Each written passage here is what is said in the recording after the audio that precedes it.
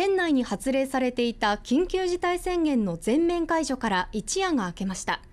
今朝の JR 静岡駅は以前と変わらない混雑を見せていました。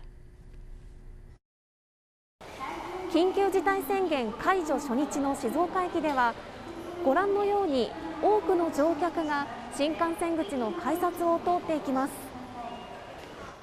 JR 静岡駅の構内は通勤途中のサラリーマンら朝から新幹線を利用する乗客で混雑していました。